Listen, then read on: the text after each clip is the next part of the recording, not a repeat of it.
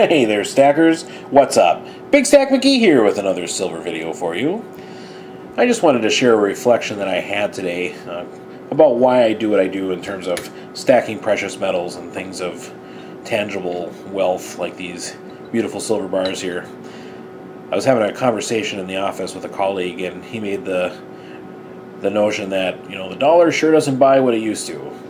I kind of had to laugh because you know he's barely 30 years old.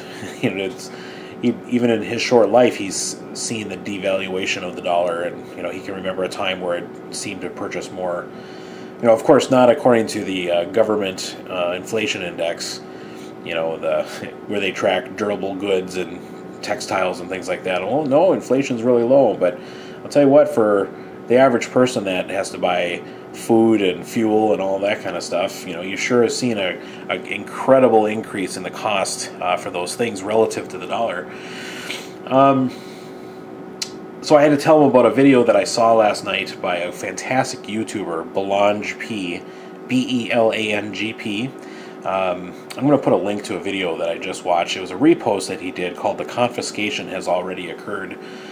And uh, it's just a wonderful parable about uh, about how the idea of fiat currency just doesn't work, and and how it can come crashing down and and whatnot, and and how the U.S. dollar really is.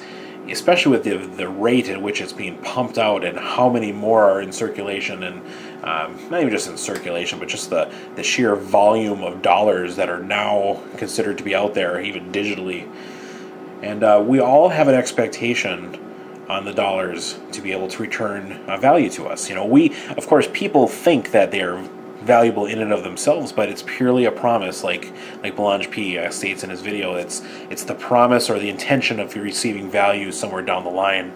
And for people that just stack cash, period, and and uh, you know, it's just you're it's a kind of a scary notion because we all see how what we can purchase with those is dwindling right now. And this is where, you know, the government's saying the economy's on track.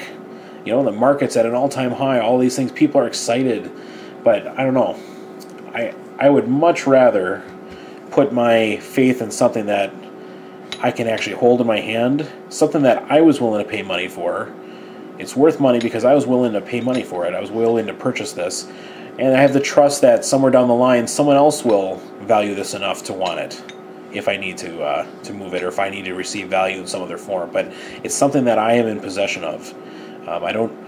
Not to say that I don't operate in dollars. Of course I do. I have to buy things like everyone else. But um, you know, I just I just think it's a good idea to to hedge your bets, so to speak, and and um, you know the potential of something like this I think is is huge. But really, the reason I do it is this is this is my savings.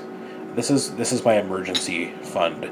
This is my ability to uh, receive value that I know has value. It's had value for thousands of years. It'll continue to have value for thousands of years. Of course, that's my trust. You know, I have trust in this. Not everybody does. You know, people will laugh at me. People will thumbs down this video. Uh, I just, I, it's just the kind of the trend uh, recently. But um, I sure believe in what I do, and I, I, just want you to watch that video by Belange P. I think it just serves a great, as a great reminder as to uh, why it's important to have tangible wealth at your fingertips. With that, um, I'm going to go ahead and, uh, and, end this video. Um, I do want to tell you that uh, what I have stacked out here, all of these um, bars have something in common, and that is that they are all uh, bars of 10 ounce bars of poured silver and this should give you an indication of what my next unboxing is going to be. I, I've kind of discovered an affinity for unique pieces of uh, 10 ounce silver, and so I am going to uh, be receiving another one, of those shortly, and I will unbox that as soon as I get it, and uh, looking forward to it. So with that, I'm going to say goodnight. This is Big Stack McGee. Thanks for watching my video. You guys have a fantastic evening. Take care.